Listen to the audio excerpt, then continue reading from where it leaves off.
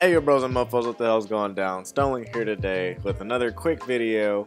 Um, I'm here in the monastery at the Castle of the Guardians in the swamp on the server Age of Wyverns. And um, anyway, dude, so if you guys want to join us, look in the description.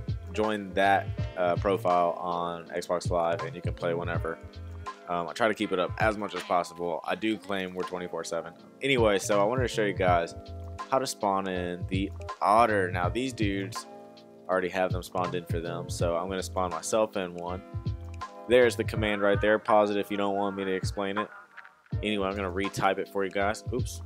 Okay, so it's cheat space GM summon space quotation otter underscore character underscore BP underscore C quotation space whatever level you want. So if I type in a level 10,000, I'm going to get a level 15,000 because it gives you a 50% tame bonus.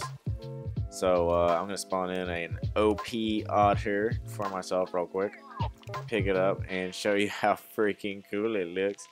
So um, you can actually put skins on these dudes and that is where stuff starts to look really cool. So I'm going to take my vampire eyes off of me and see if I can put them on to my uh, little guy here. So I think that, okay, maybe I should throw him down and then access his inventory and then put the vampire. Oh, dude, I think it's going to work. They're gray vampire eyes. And oh my God, it just worked. Oh my God. Oh, that's the coolest thing. Oh, that's so creepy too. Wow, it's really weird. Okay, let me pick that up and see what it looks like on me. Holy crap, that's cool. Ooh, it's like, um, actually it's a little off. It's mostly just like smoke coming from its eyes. But it's still got the otter eyes. But anyway, that's kind of cool, I guess. It kind of looks almost evil. Um, I wonder if I can, I wonder if you can put, can you put like helmets on the Pegomastax or something? I don't know. I'm going to play around with these vampire eyes. I've never put vampire eyes on a dino.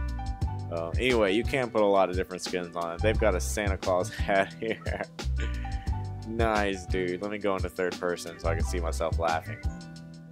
I laugh at that. That's awesome.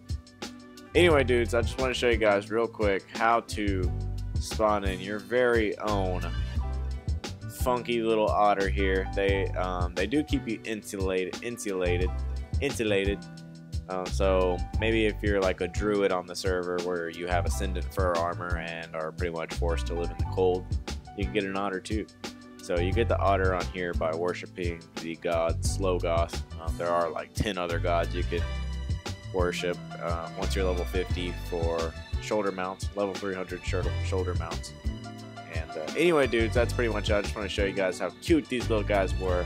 People have been asking for them for quite a while, and they finally got brought to console. So anyway, that's it, dudes. Hopefully you have fun with your little cute little otter.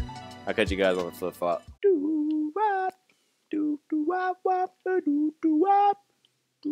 wop wop